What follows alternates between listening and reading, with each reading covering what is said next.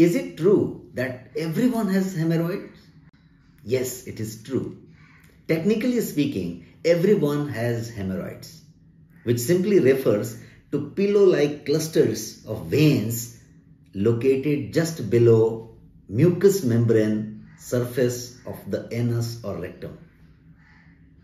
But when these veins get swollen like varicose vein, the condition is called piles or hemorrhoids. It is a condition that affects about 60% of the population at some stage of their life.